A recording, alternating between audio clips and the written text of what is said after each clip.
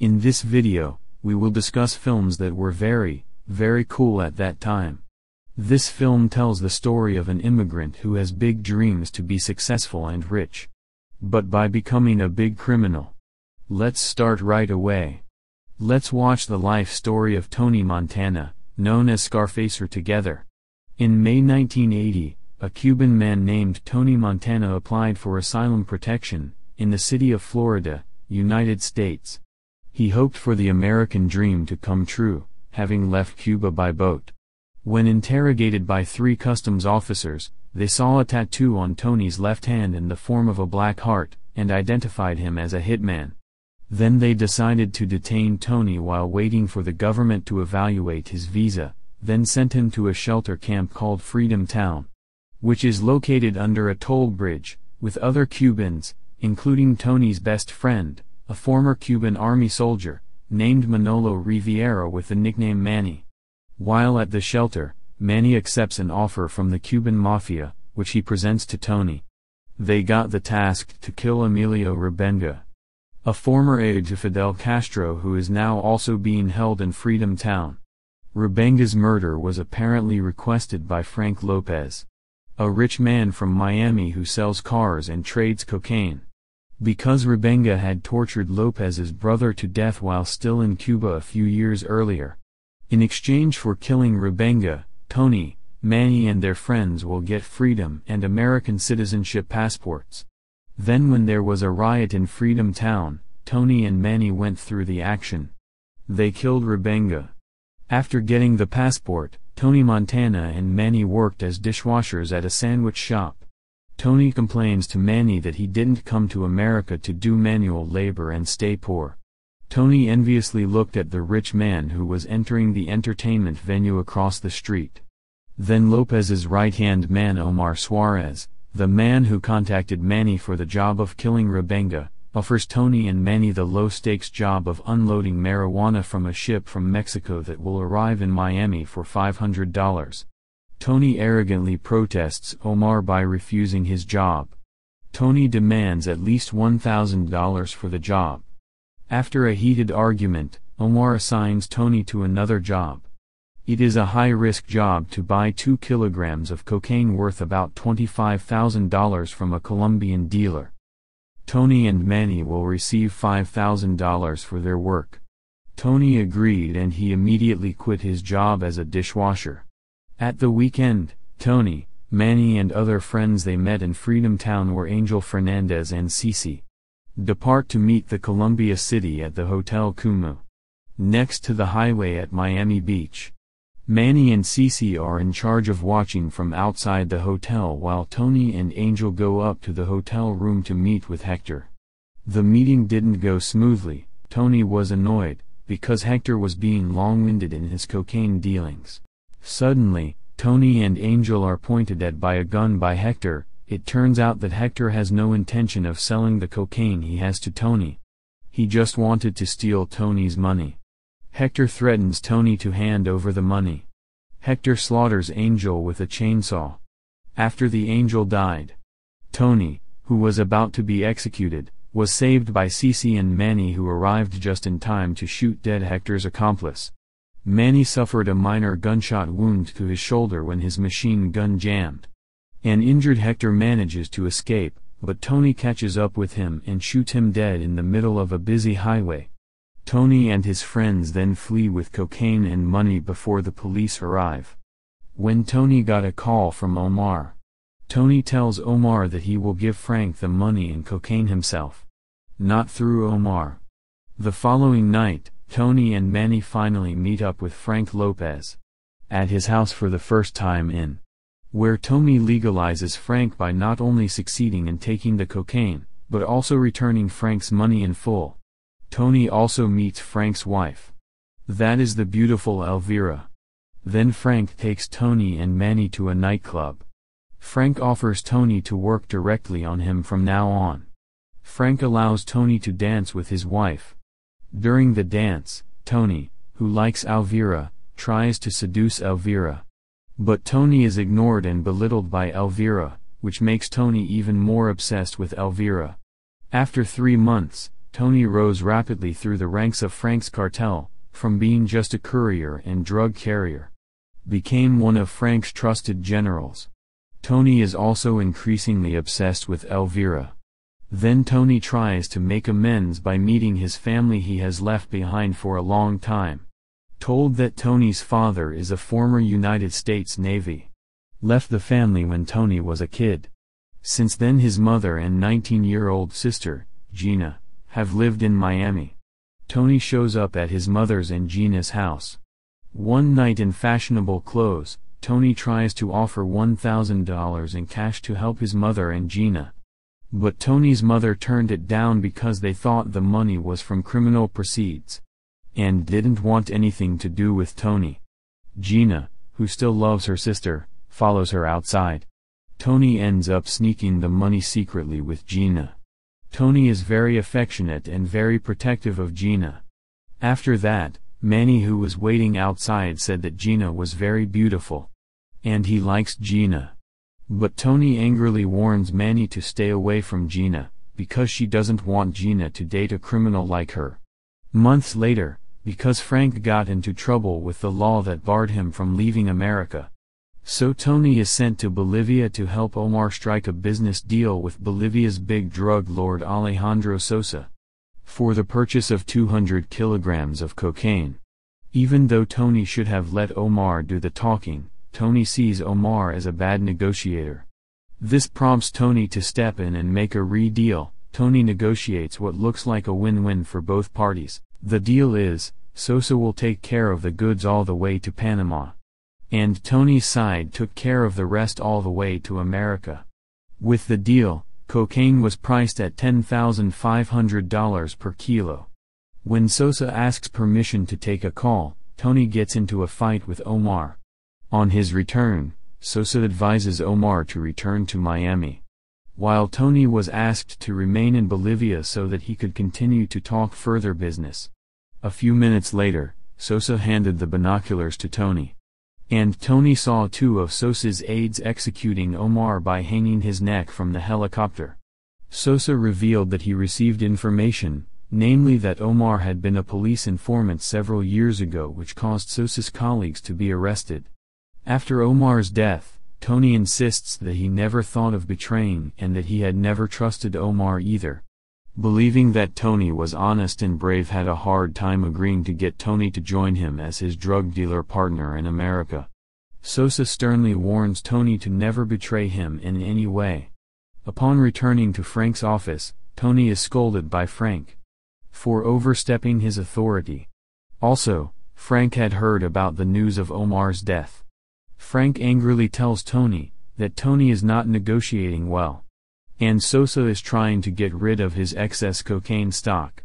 The point here is, Frank Lopez and his cartel don't have the ability to sell 2,000 kilograms of cocaine in just a few months.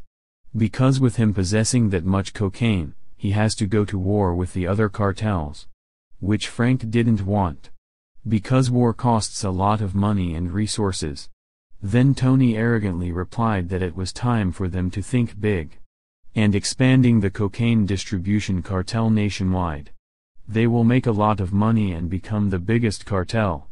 Frank warns Tony that Sosa is a snake, and sooner or later, he would finish them off if there was the slightest deviation from his business. Frank then immediately tells Tony that if a drug dealer is too ambitious he will not be able to stay in the drug business long. Tony arrogantly goes and takes Frank's advice. Then Tony met Elvira. He bluntly asked Elvira to leave Frank. Then he married her. Elvira was surprised but agreed to give it some thought. At night at a nightclub, Tony is approached by a police detective named Mel. Mel knows now that Tony is a major player in the drug trafficking business. Attempts to blackmail Tony out of the blue by luring him in exchange for protection and information over his business rivals. Tony ignores Mel, because he sees Gina dancing drunkenly with an asshole. Tony then follows Gina to the bathroom where she scolds Gina for wanting to have sex in the bathroom. Tony asks Manny to take Gina home. On his way, he confesses that he actually likes Manny. Manny ignores Gina, considering Tony is very protective of Gina. and forbade Manny to approach him. Back at the nightclub, Tony is attacked by two gunmen. But managed to escape. Tony who was injured by a gunshot to his left shoulder. Finally managed to kill the two attackers. Tony suspects that it was Frank who sent Mel to blackmail him. And hired two assassins. Tony asked one of his bodyguards to call Frank. After that Tony and Manny went to Frank in his office. Frank was with Mel and Arnie, Frank's bodyguard. At exactly 3 p.m., Frank gets a call from Nick pretending to be a hitman hired by Frank. Frank then pretended that it was a call from Elvira. With this, Tony is increasingly convinced that Frank was the one who sent the assassin. Tony immediately pointed a gun at Frank. A cornered Frank begs Tony's forgiveness. Said that he could have Elvira and would give Tony $10 million. When Tony wants to let it go, Tony ignored him. Then Manny coldly executes Frank. A frightened detective Mel insists that he was not involved in this. But Tony who knows Mel's bad intentions doesn't believe it and Tony shoots Mel dead. Tony Manny and Cece then saw Frank's personal bodyguard, Arnie, who was terrified. Then asked if Ernie wanted to work for Tony, Ernie nodded and thanked Tony. After the incident, Tony was unstoppable. Everything seemed to be going well for Tony. Tony started a big business with Sosa for a year and a half. Tony married Elvira. Manny and Gina soon start a romantic relationship. But keeps it a secret from Tony who has emphatically stated to Gina that she doesn't want Gina to date anyone involved in the criminal business. One time, the manager of the bank where Tony kept his money, told Tony that the more money laundering was made from drugs, the more difficult it was to do. So he will charge a higher service fee of up to 10% of Tony's total treasure. Then Manny offered a solution there was a mobster named Seidelbaum. Willing to accommodate and launder Tony's money with a commission of only 4%. Tony agreed. Tony then began to forget himself and lost control. Elvira is very bored with Tony's monotonous life. Tony's only business. Elvira is not taken care of by Tony. As Tony counts the money, Seidelbaum reveals himself to be an undercover cop and arrests Tony with Cece. Tony underestimates the arrest that he has the best lawyer who can escape any sentence. Then Tony's lawyer told Tony that even though he could be acquitted of money laundering charges, Tony still had to serve at least three years in prison for tax evasion. Manny suggests that Tony go through with it, because the American prison system is not as harsh as it used to be in Cuba. Sheffield also said that the right legal loophole could reduce the sentence to six months. After hearing about Tony's arrest, Sosa doesn't want to lose his main distributor. Offers Tony a way out of prison. He calls Tony to Bolivia, he introduces Tony to his cocaine business cartel partners. A group that includes a Bolivian military chief landlord, Bolivia's interior minister, and a mysterious American named Charles Goodson. These people will help Tony to keep him in prison, but this help comes at a price. Sosa tells Tony that there is a Bolivian journalist called Sosa who is trying to uncover corruption involving Sosa's business partners. Sosa will send his executioner, Alberto, to New York to kill the journalist. However, he needs Tony and his crew to accompany him. Because Alberto didn't know the streets of America by heart. When he returned to America, Tony confided in Manny.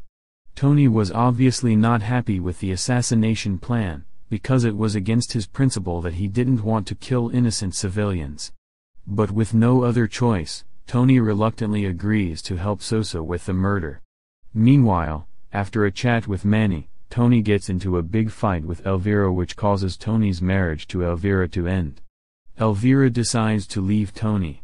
He finally expressed his disgust for her. And the life he has lived. Tony is very drunk, tantrums and raves to other diners. Then, Tony and two of his men, Cece and Ernie, together with Alberto, will put a bomb under the journalist's car with the intention of detonating it outside the UN building. Before the man addressed the General Assembly and revealed the Sosa cartel. But Tony changed his mind when the journalist suddenly picked up his wife and children. Tony said that they should only kill journalists, not his wife and children. Tony surprisingly shoots Alberto to prevent the journalist's family from being killed. Tony then immediately shot Alberto in the head in the car. Then later, Sosa called Tony and angrily said, due to the murder of the journalist failed. The police have found a bomb planted under the journalist's car and the authorities know that Sosa is the prime suspect. Sosa angrily vows revenge with Tony. Tony, who is not happy with Sosa's behavior, arrogantly challenges Sosa to war. Later, Tony finds out that Gina and Manny have disappeared. Tony visits his mother. Again, Tony was scolded because Tony caused Gina to be damaged by Todd spoiling her with money. Her mother then told Tony Gina's address because she had secretly followed Gina. When he arrived at the house, Tony was surprised because it was Manny who opened the door. Tony then sees Gina wearing a nightgown. Tony suddenly becomes furious, crazily shoots Manny to death. Gina becomes hysterical. Gina reveals to Tony that she and Manny just got married. And was going to make a surprise plan for Tony. Tony, overcome with guilt, takes Gina back to Tony's house. Tony pensively realized and regretted what he had done to his best friend Manny. While Tony is daydreaming, a large number of Sosa's mercenaries break into Tony's house. And quietly started killing all the guards around the courtyard. At the same time, a distraught Gina wearing only her nightgown unbuttoned and carrying a gun enters Tony's room. Gina starts shooting Tony. Gina has a mental breakdown due to Manny's death. A Sosa mercenary hiding on the balcony. Thought Gina was shooting at him. An enraged Tony throws the man off the balcony and kills him with a machine gun. The mercenaries, realizing that their actions had been discovered, began swarming the door to enter, attacking Tony's house from all directions. When all of his men are killed, Tony, still high on cocaine, leans on Gina's corpse, and apologizes for what he has done to Gina and Manny. At the same time, the mercenaries started to enter the house. Cece tried to restrain them. But unfortunately, when he banged on the locked door of Tony's room, Tony didn't seem to hear him. Finally, Cece was shot dead when the assassins prepared to storm into her room. Tony armed himself with a powder gun and grenade launcher, blew up the door while uttering his iconic words, a huge gunfight begins as Tony takes up position at the top of the grand staircase and shoots down dozens of Sosa's henchmen who try to storm the balcony. Tony was shot several times. Due to the effect of the drug, Tony seemed to be strong enough to receive a bullet. Tony continued to shoot. Tony who is in a drunken state with arrogance yells at them to shoot his bulletproof self. Tony didn't notice that Skull, Sosa's executioner was sneaking into the room behind him. Skull shoots Tony from behind with a shotgun. Tony fell off the balcony and plunged into the pool downstairs. In the last scene, when Skull and a few mercenaries who are still alive, see Tony Montana has died in a pool of blood which is located under a large brass that reads the world is yours and the movie ends.